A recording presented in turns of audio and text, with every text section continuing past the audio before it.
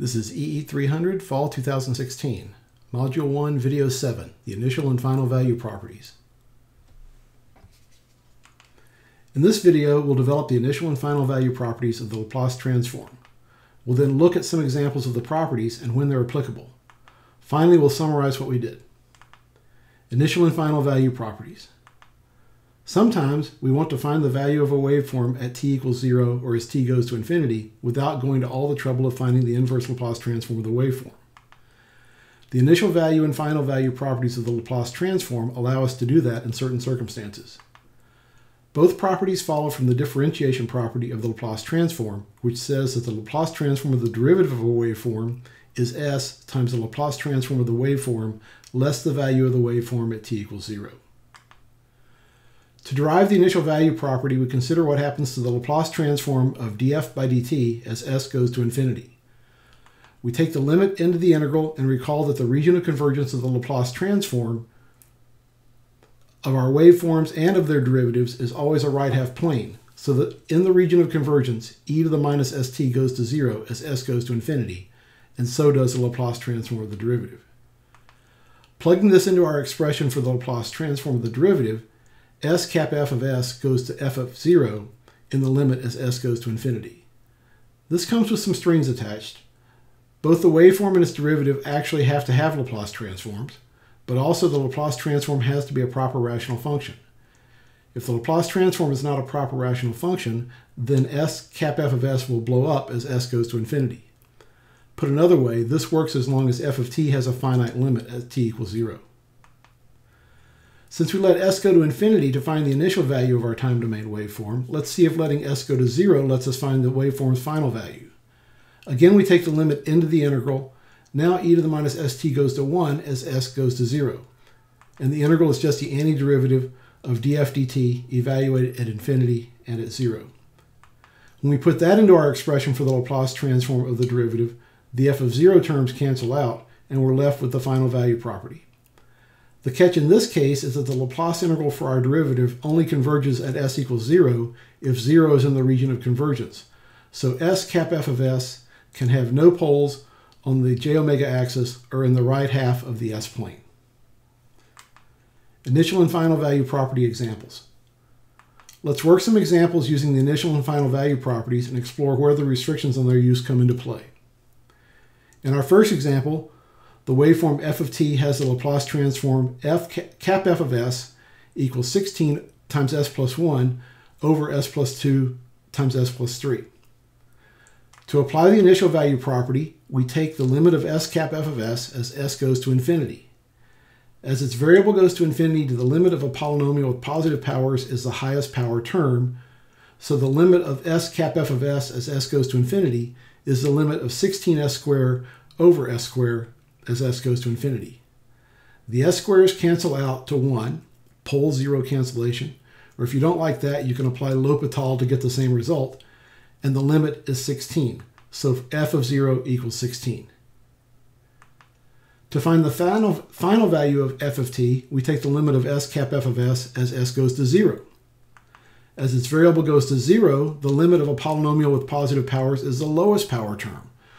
So the limit of s cap f of s as s goes to 0 in this case is 16s over s over 6. The limit as s goes to 0 is 16s over 6, which is 0. Since we're new to this, let's find the inverse Laplace transform and check our results. Cap f of s will have partial fractions with poles at s equals minus 2 and s equals minus 3. From cover up, the weight of 1 over s plus 2 is minus 16, the weight of 1 over s plus 3 is 32. The time domain waveform is minus 16 e to the minus 2t plus 32 e to the minus 3t for t greater than or equal to 0, which is indeed equal to 16 at t equals 0 and which goes to 0 as t goes to infinity. Note that f of t had a finite value at t equals 0 and that there were no poles of s cap f of s on the j omega axis or in the right half plane, so we could use both the initial value property and the final value property. Let's work another example, this time with f cap f of s equal 10 over s times s plus 1. Again, to find f of 0, we consider the limit as s goes to infinity of s cap f of s. In this case, the limit is the same as that as that of the limit of 10s over s squared, or 10 over s, which goes to 0 as s goes to infinity. That means f of 0 equals 0. To find the final value, we take the limit of s cap f of s as s goes to 0. The limit goes to the limit of 10s over s, which is 10. Again, if you're uncomfortable saying s over s goes to 1 as s goes to 0, use L'Hopital. But at some point, you should become, become comfortable that the limit of s to some power over s to the same power is 1, both when s goes to 0 and when s goes to infinity. The final value property says that f of t goes to 10 as t goes to infinity. Again, let's check our results. By partial fractions, the weight of the pole term at s equals 0 is 10, and the weight of the pole term at s equals minus 1 is minus 10. The time domain waveform is 10 times 1 minus e to the minus t for t greater than or equal to 0. F of t has a finite value of 0 at t equals 0, so the initial value property worked even though cap f of s had a pole at s equals 0 on the j omega axis. And, and even though cap f of s had a pole uh, at s equals 0 on the j omega axis, s times cap f of s only has a pole at s equals minus 1 by pole 0 cancellation, so the final value property works. Now let's see some cases where one or another of the initial value property or the final value property doesn't work. Consider cap f of s equals s times s plus 6 over s plus 3 quantity squared. For the initial value case, we take the limit of s cap f of s as s goes to infinity. The limit goes to s cubed over s squared, which equals s, which goes to infinity. Because f cap s of s, because cap f of s was not a proper rational function, f of t has no finite limit at t equals 0. For the final value case, the limit of s cap f of s is the limit of 6 s squared over 9, which goes to 0 as s goes to 0. So the final value of f of t is 0. When we go to inverse transform cap f of s, we see that it is quadratic in both numerator and denominator, so it's not a proper rational function. Adding and subtracting 9 in the numerator, we can write cap f of s as 1 minus 9 over s plus 3 quantity squared. In the time domain, the right-hand term is minus 9t e to the minus 3t, but we don't know the inverse transform of 1.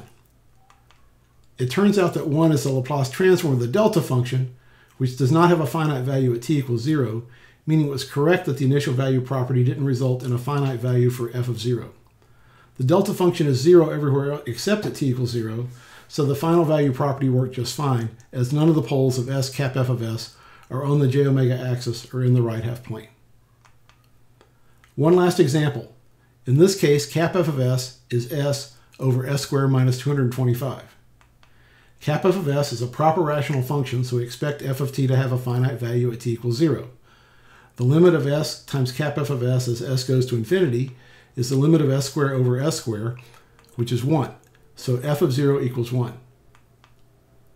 The final value property requires s cap f of s to have no poles on the j omega axis or in the right half plane. Our cap f of s has poles at plus and minus 15, so there is a pole in the right half plane, and the final value property is not applicable.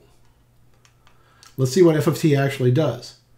The partial fractions of f of s are something over s plus 15 and something over s minus 15. So the residue of the pole at s equals minus 15 is 1 half, and the residue of, at s equals plus 15 is also 1 half. So f of t is 1 half e to the minus 15t plus 1 half e to the plus 15t. At t equals 0, f of t is 1, but as t goes to infinity, f of t blows up because of the e to the plus 15t term, which corresponds to the pole at plus 15. Summary.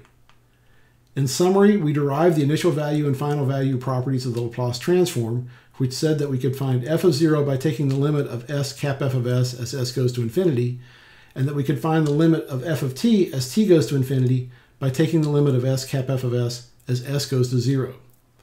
For this to work, the Laplace transforms of both f of t and its derivative have to exist. We saw that the initial value property yields a finite value for f of 0 only when f of, cap f of s is a proper rational function. And we saw that the final value property only works when S cap f of s has no poles on the j omega axis or in the right half plane. This has been EE300 Fall 2016, Module 1, Video 7, the initial and final value properties.